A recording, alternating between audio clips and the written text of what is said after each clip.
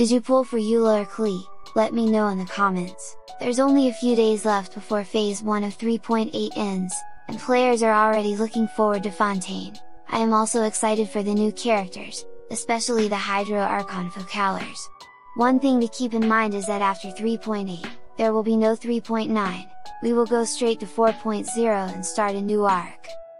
The beta testing has started for 4.0 and we also have the official announcement of three new characters that will be in the 4.0 banners, Lyney, Lynette, and Freminet.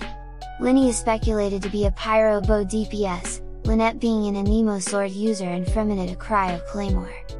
Phase 1 of 4.0 is going to consist of Lyney and Yelan, this remains unchanged. Phase 2 of 4.0 will consist of Zhongli and Childe.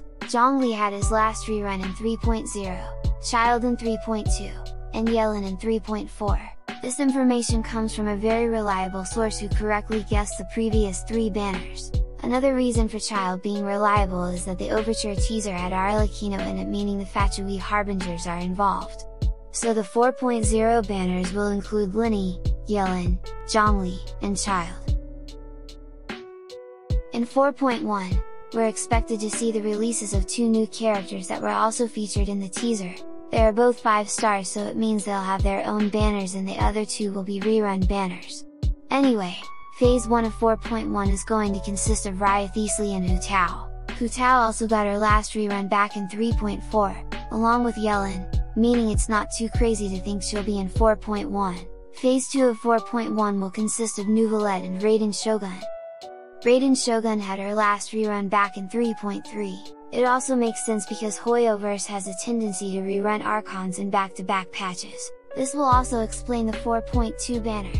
Only 5.2% of my viewers are actually subscribed to the channel, so make sure to sub if you like the videos. Let's move on to the 4.2 banners. Phase 1 will see the release of the highly anticipated Hydro Archon, Focalors. See what I mean by Hoyo featuring Archons back to back? The rest of the 4.2 banners will be reruns. The following are quite unreliable as it is way too far into the future.